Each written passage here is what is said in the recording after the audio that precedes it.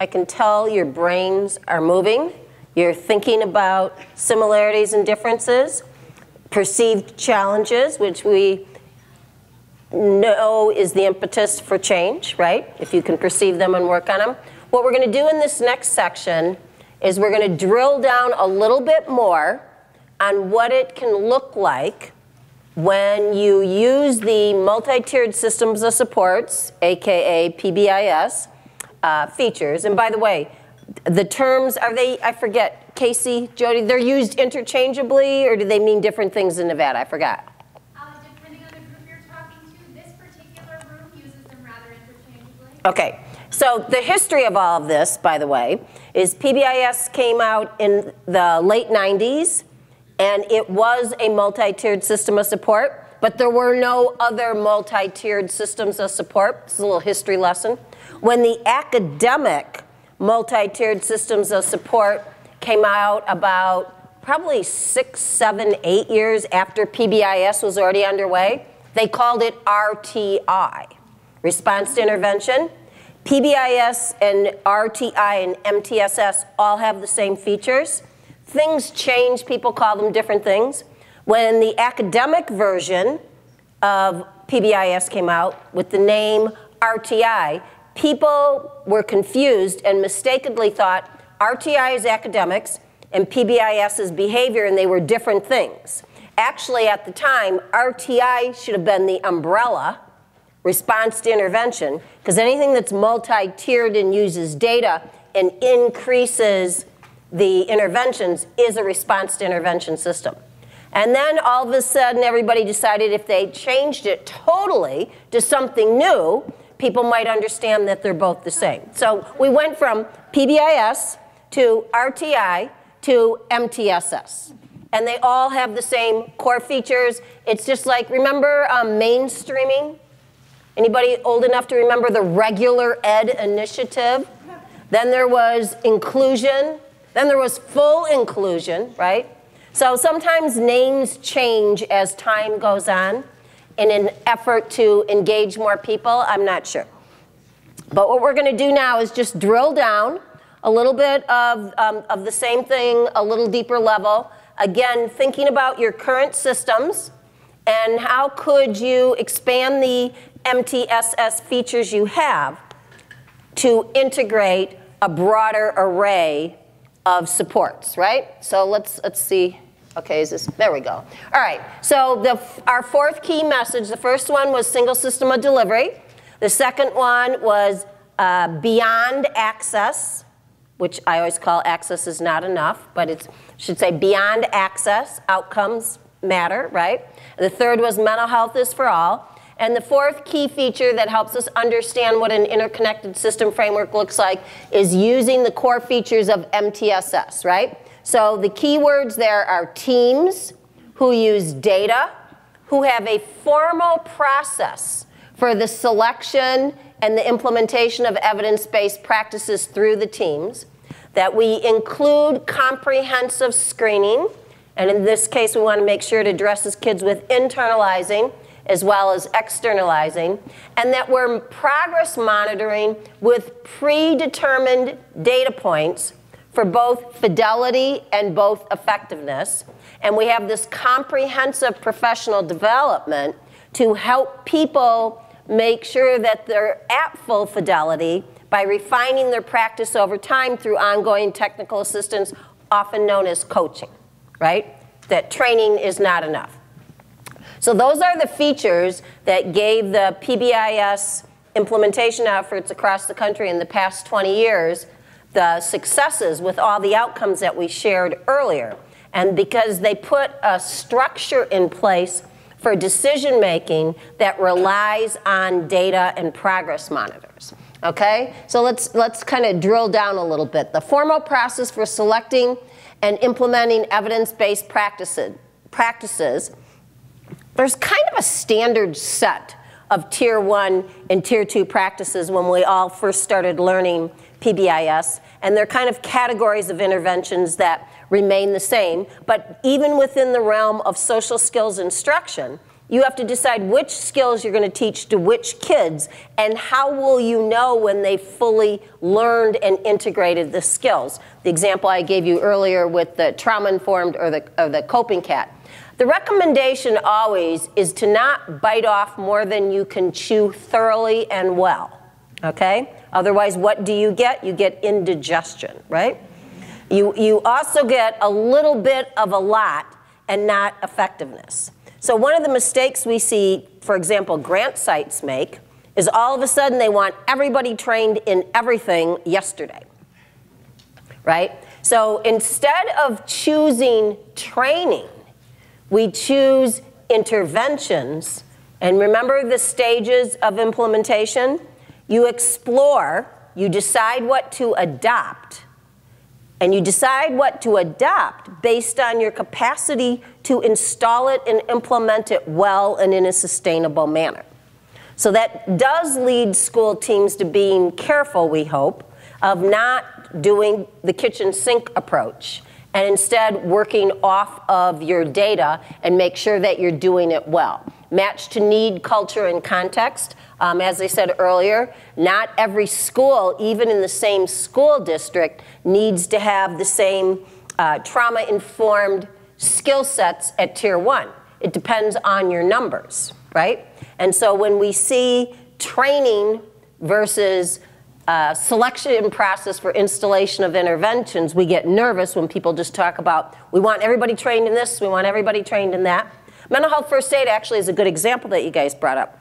The training is good, but you're not confident it's achieved its outcome because one shot training does not change people's attitudes and behaviors and actions, right? So that's, that's an excellent example. So you know you need to look at uh, evidence-based practices related to it, and you have to install them with the right resources, the right people, the people with the right background, right?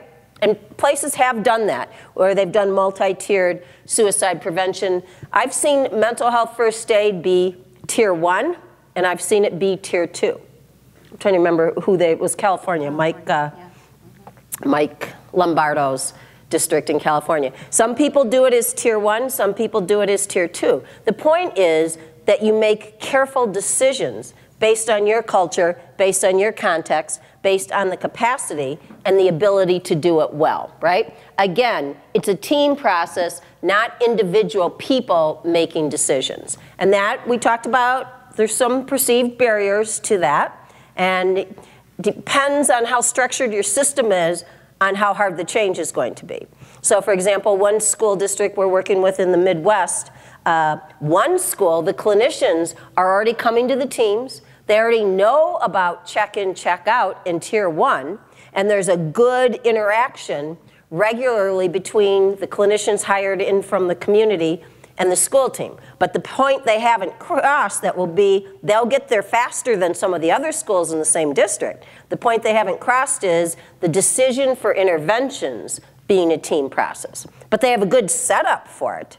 Whereas if you're in a building where the clinicians are completely separate, they're handed, you know, referrals, they see kids, and people don't really know what they're doing.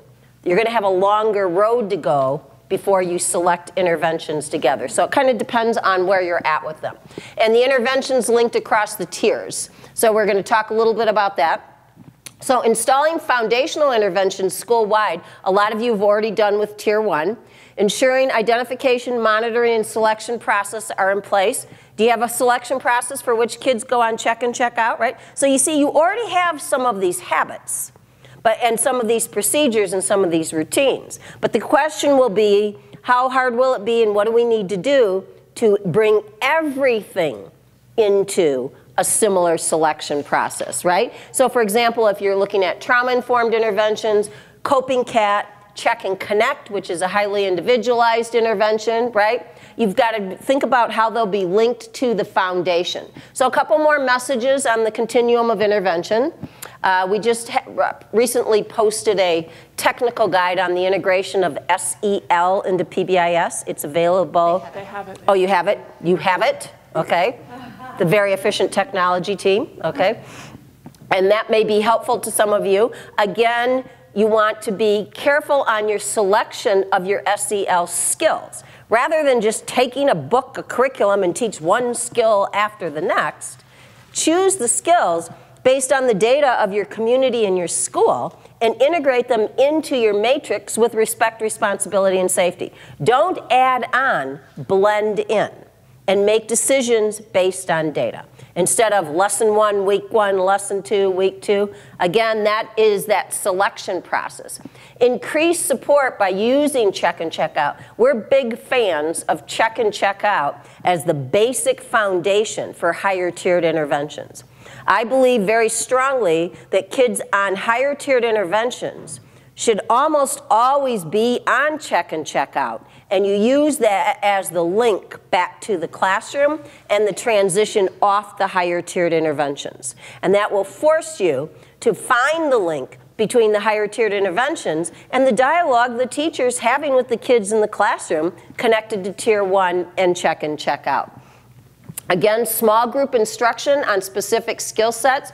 We see social skill sets, coping skill sets, problem solving, uh, skills as low level, generic, high frequency dosage of teaching. It's a full range. And you could have different ranges, I'll show you in a moment, of the same skill set, uh, of, of a continuum within your groups. And daily progress report for the check and check out. I think I have a picture of it coming up, not there, but soon. I showed one earlier. It's got, right, okay, I'll go back to it. But it's you, you know, the skills are layered into the daily progress report. That's what links them back to tier one. So for ease uh, with the teacher in the classroom and transference and generalization, and as I mentioned earlier, increasing the effectiveness of the intervention. Small group in instruction, we use our screening data, other data, referral data.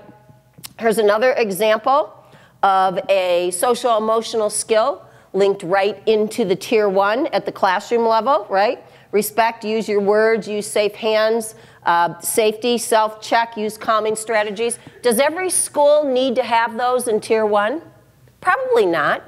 Do any of you know schools that have a high enough incidence of certain data points, that it would be good to be teaching those right at tier one, right? Okay? So this is the kind of, this is what we mean by selection of evidence-based practice. The evidence-based practice is the teaching of the skills to everybody, right? The selection is which skills based on which data points that we want to move. And linking them back to the expectations and teaching them in the natural location is, is always the big winner, always the one you want to go for. Now, the database process, every intervention that you have that is beyond tier one, you want to have identification for who gets in. Once they're in it, the intervention, let's say coping cat or some other trauma informed intervention, before the intervention begins, you have to decide how you're going to know if it works, not after. We find that the higher tiered interventions and the more, quote, mental health interventions historically have the least amount of evaluation predetermined and attached to them. So we got to be pretty careful to make sure that we use the MTS features. How long are they going to be on it? What's the dosage? What's the frequency? Are we going to use the daily progress report? Are we like with the uh, Coping Cat, that SCARED survey, you know, what are the data points? What's the frequency? What's the time frame? And the mental health interventions, again, use your data for your selection process. And here's some of the, this is about our fourth slide of the different types of community data that could be used. We're doing this on purpose, by the way, because you know the one shot you're like, where's that slide with community data? There's probably four of them uh, in here. This is an example of people using different data sets. So you have the names of the kids. This is all fake. You have the grade level, time out of class, major behavioral referrals, possible motivation, that comes from the office discipline referral form, and grades, attendance, and their check-in, check out. And that could be an example of thinking about kids who might need a higher tiered intervention, like the triangulating of different sets of data. This is uh, one of our newer and We're, we're, we're very excited about this discussion. It took us a while to get comfortable with it and try to figure out our messages. And then, of course, there's the making of the visual. But I mentioned to you earlier in response to possibly Jake's question or comment, I can't remember where, but I already talked to you about the fact that there could be a continuum of groups on the same skill set. The example I used was trauma informed. If you have kids who are in active trauma, you can't teach them the skills if they're not open to the instruction when they get there because they're usually in active fight, flight, or freeze responses. So in that higher tiered group for trauma, the group might always begin with the emotional barometer, where kids are taught in the first lesson of the eight week group or whatever it is how to give themselves an emotional barometer rating. Are you a one? Are you a two? Are you a three or a four at this moment when you come in? And then there may also be a mindfulness activity to help them get rid of whatever makes them feel like they're a four at the moment. What you're basically doing is adding techniques to the intervention based on the data of the kids, because before you can teach and practice the skills, We've got to kind of clear their heads and get them ready for focusing on the skills. Whereas if you just launched right into the skill instruction, they wouldn't be ready for it. Does that make sense to you? And if you just have kids who are at risk because of their demographic factors across the neighborhood, you might, in the, that instruction, whether it's tier one or tier two, you might not necessarily need the emotional barometer or the mindfulness activity. The point is to make choices based on data and likelihood of impact, right? You never want to do more than you need to do to accomplish the instructional purpose, to accomplish the change. So the, this is an example of, you know, the social behavior core curriculum. And notice, here, let me use, I'm using my finger when it would be much better to do this, okay? Taught by the teacher daily to all students. And over here we have taught by staff with advanced technical skills. You get the idea? So you have to think about what is this, the uh, complexity of the intervention matched to the data point of the kids and who do we have that can do it?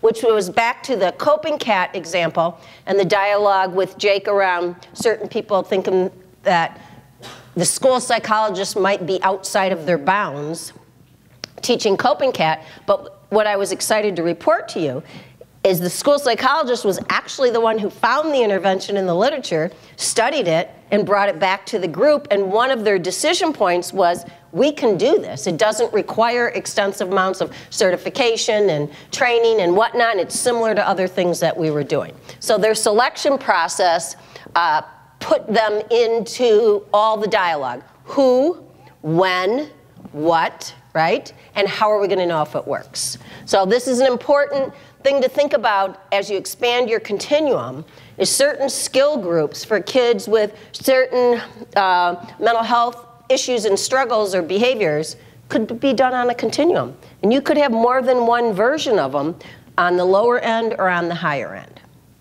And that's where your dialogue about who has the comfort level and the skill set works. A lot of, uh, this is an example of this, how are you feeling today, youth self-report, right? This gets included in some of the groups because one of the skill sets is recognizing when you need to use your coping skills, right?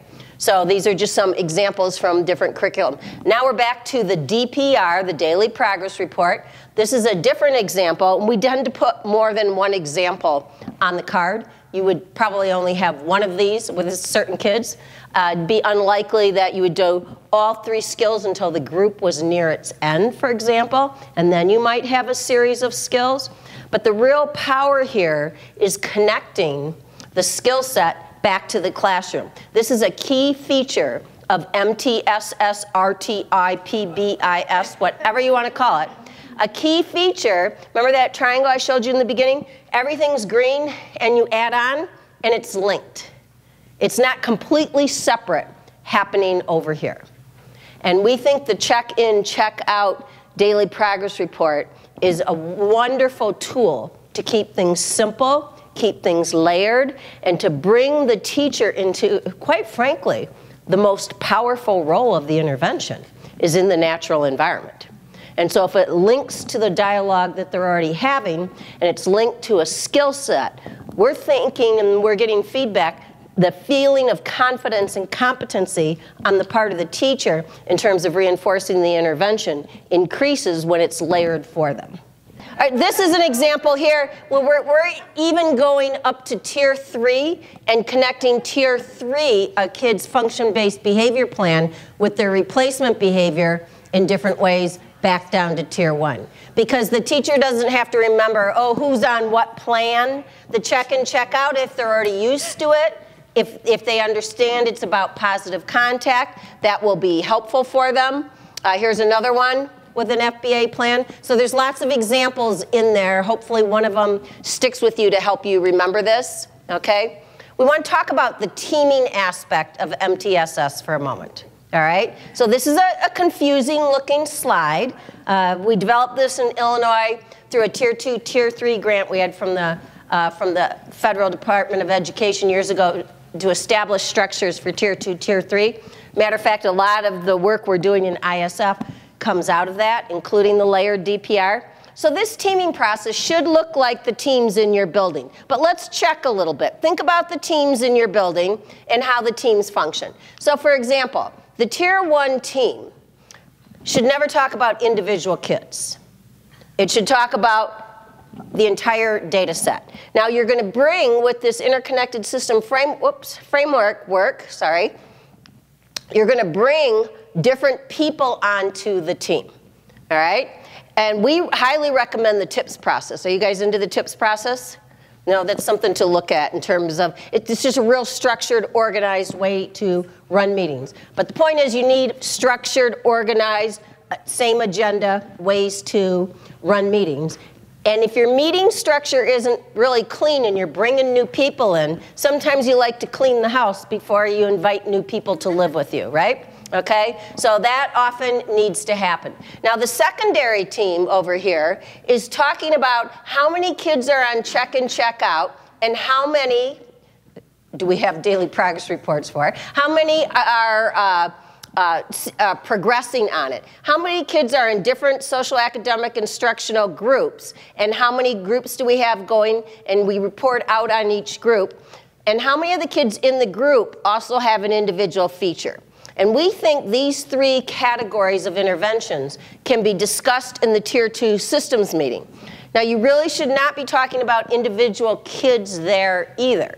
You know, we have eight kids in the coping group. We just finished it. We just did a uh, time two of the SCARED survey. Here's the data on it. We have two kids that we think, we've had them in individualized add-on support for the coping skills, but we think that they're gonna need more, right? So you talk about the systems. Now, having family members and community members on these teams shouldn't be an issue because you're not talking about individual kids. But if you haven't shifted to system meetings and system discussions, the question comes up, oh, we can't have a family representative on there because we're talking about kids. Well, you're not having the right type of meeting then. You need to like address your system discussions at the meetings. Now, when the community and family members are on the teams, there's often a different type of dialogue. One of my favorite early on with this, and it wasn't even mental health, it was just with family involvement. We had a district where their goal was to get family members on every one of the teams. I was working with them, one of our larger districts in Illinois. And one of the stories that came back to the district meeting from one of the teams is they were having a discussion. It was one of those schools that had uniforms. Uh, uh, we won't get into all that dialogue, but they had this uniform thing. And certain of the girls, I think it was like seventh grade, were getting all these violations for not wearing the proper uniforms. And the mom on the team says, you know, these girls don't like the way they look in those shirts.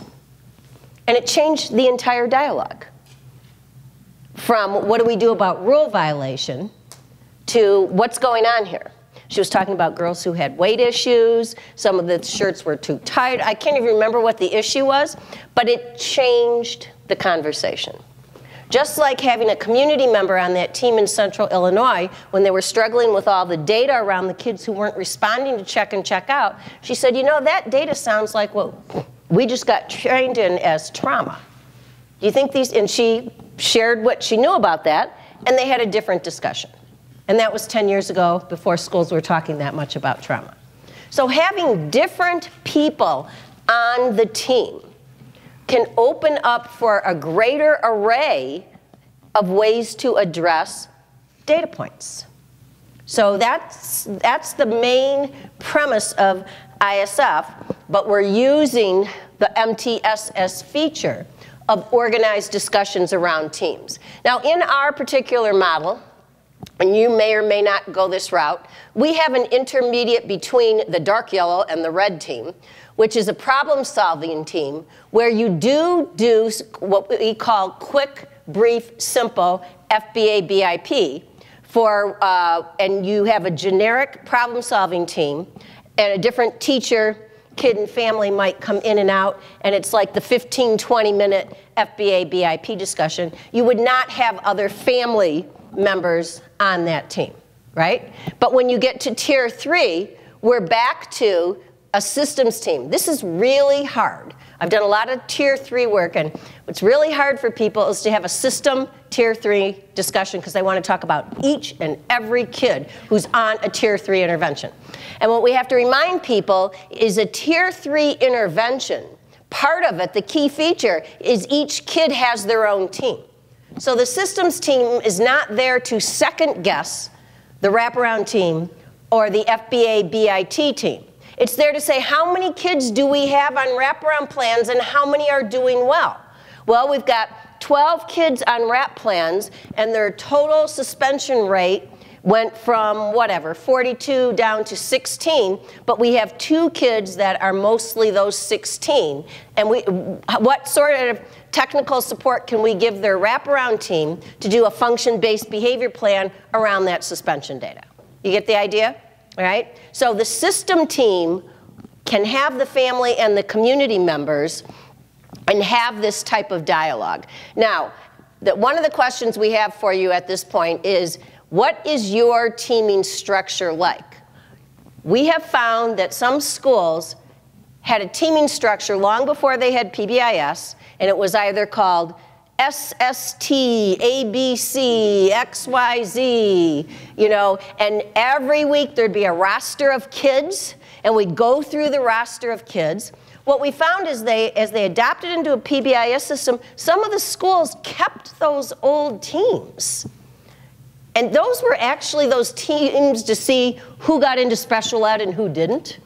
I mean, that was the origination of a lot of those teams. So if you're thinking about moving forward with bringing different people on your teams, the first thing we would ask you to do is think about your current teaming structure and maybe where it might need to be tweaked relative to bringing different people on it. I'm going to skip that for a minute, Kelly, and go to this one. So just take a, we're just going to give you just a couple minutes here, two minute discussion. What teams already exist in your building to discuss kids, behavior concerns? And more importantly, how are decisions made?